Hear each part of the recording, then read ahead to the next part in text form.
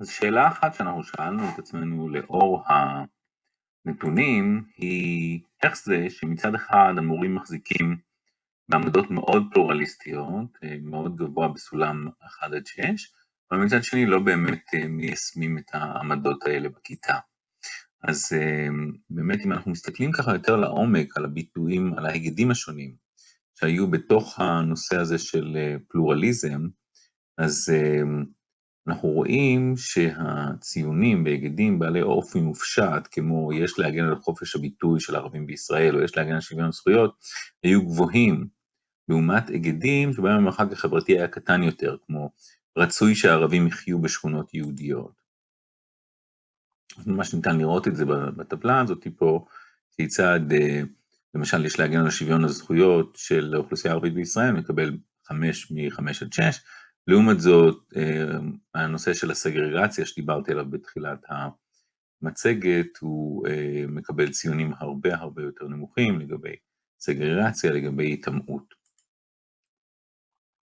אז בעצם אה, אנחנו, כשאנחנו מסתכלים על מה קורה למורים, זה מאוד מאוד חשוב לדבר כאן על המסר הסמוי. אמרנו שמבחינה פורמלית, אז המדיניות היא שמותר לנהל דיונים בנושאים שנויים מחלוקת, ומותר למורה להביע את דעתו, כל עוד הוא עושה את זה בצורה, אה, בצורה מאוזנת, אבל מורים מקבלים את המסר הסמוי, את המסר שעובר מתחת לפני הקרקע ממשרד החינוך, שמורים שמעזים אה, לומר את דעתם, מקבלים בתור התחלה שיפוט מהיר בפייסבוק עם חברי כנסת שקוראים להם בוגדים ודברים מהסוג הזה, ואחרי זה אה, שימוע וזימון ואיכשהו אה, מפוטרים בדרך כזאת או אחרת. אז באמת הידע של המדיניות הוא לא מספיק, זה לא רק להיות פלורליסט, אלא באמת יש איזשהו מסר סמוי שעובר ממשרד החינוך שהוא אה, מאוד לא בטוח למורים, פשוט מרגיש להם שהזירה הזאת היא לא בטוחה אנחנו גם ראינו את זה לא מעט בתשובות האיכותניות של מורים.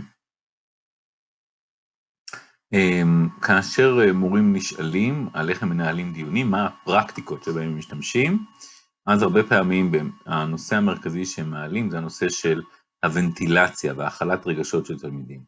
בעוד שהמחקר מאוד מדגיש את העובדה שדיון פוליטי עוזר לך לחזק מעורבות אזרחית, לעצב תודעה פוליטית, הרבה פעמים הכיוון שמורים לוקחים הוא הכיוון של ונטילציה והכלת רגשות. אז אה, כמו שאמרתי, למחקר הזה היה גם חלק איכותני, אה, השאלה האיכותנית, שבה הם נשאלו, תאר אירוע משמעותי שעוסק ביחסי יהודים ערבים בכיתה, אה, ומה קרה בעקבותיו. אז בסך הכל, מתוך ה-1625 זו הייתה שאלה אופציונלית, אז רק 400 הגיבו, 387 היו שמישים. אה, ואנחנו, ואפילו זה היה המון מידע, אז אנחנו בעצם, אה, כאשר ניתחנו את זה מבחינה איכותנית, אז אה, התמקדנו ב-158 תקריות, שבהם המורים דיווחו על אמירות גזעניות של תלמידים. אז הניתוח הוא ניתוח איכותני, ועלו בו מספר תמות, הנושא של המניעים או הטריגרים, מה, מה גרם אה, לנושא לעלות, אתם יכולים לראות את הטריגרים השונים, אה, מה גרם, סליחה, לא לנושא, אלא לאמירות הגזעניות לעלות, הנושא של האסטרטגיות של המורים בתגובה שלהם לאמירות הללו, גם על זה אנחנו ככה אה, קצת נעבור, אה, ואז אה, האם ראו תוצאות חיוביות או תוצאות שליליות. אז אה, אז אה, בואו נתחיל לעבור על הקטגוריות השונות. אז מבחינת המניעים, אנחנו רואים שהשיח מתעורר בעיקר בעקבות אקטואליה וביוזמת התלמידים. אתם רואים כאן את, ה, את התמות השונות, אבל מבחינה, מבחינה כמותית זה היה ללא ספק מאוד מאוד בולט, שבעיקר זה היה אה, יוזמה של תלמידים ובעקבות אקטואליה. אני אתן לכם כמה דוגמאות מציטוטים ש...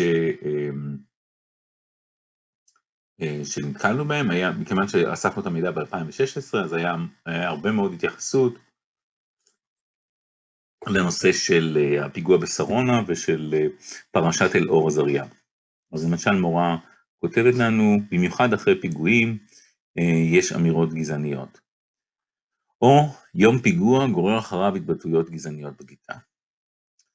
מורה אחרת, שיח על פיגועים עובר לא פעם לאמירות קשות ובוטות על ערבים בכללותם.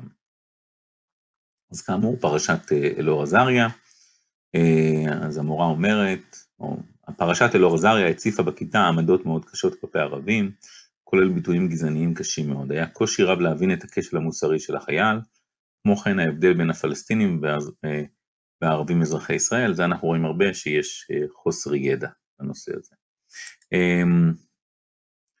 לאחר הפיגוע בשרונה, מדווחת מורה אחרת, הייתה התלהמות גדולה, ערבים צריך להרוג, היה שגור בפי רבים. עצרתי את השיעור ואפשרתי להם לשחרר רגשות וניסיתי לייצר דיון בנושא. זה היה גם הנושא של הוונטילציה שדיברנו עליו. ובכן, מה האסטרטגיות אה, שהמורים אה, אה, משתמשים בהן?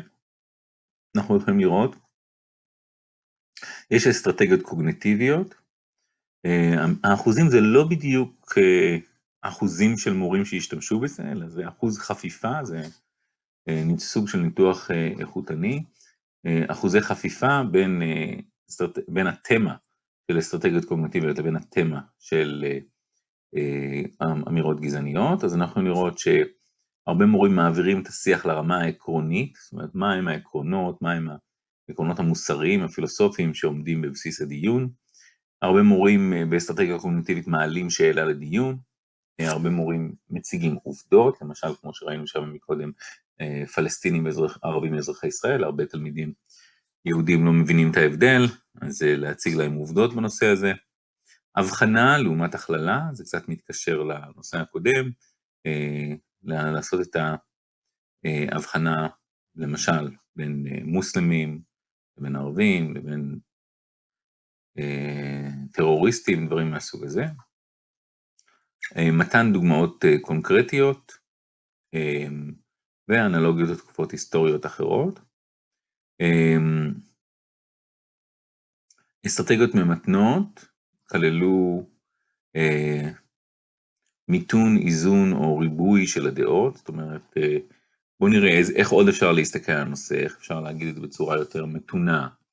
אה, הנושא של כללים לדיון, אה, זוכרים אה, שדיברנו על תפיסת התפקיד מקודם, אז המורים אמרו שזה דבר מספר אחד מבחינת התפקיד שלהם, כללי משמעת, הצבת גבולות.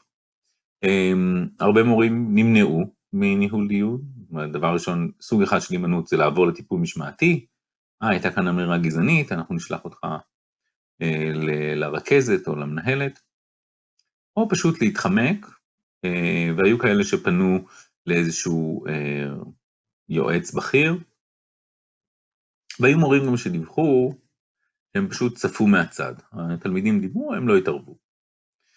אה, אסטרטגיות רגשיות, אה, אז אנחנו רואים עברור רגשות, אה, פשוט לתת להם לעשות את הוונטילציה הזאת, הבעת אמפתיה, למשל הרבה פעמים מדובר על פחד, התלמידים חווים פחד, אז אמפתיה לפחד של התלמידים, הפחתת חששות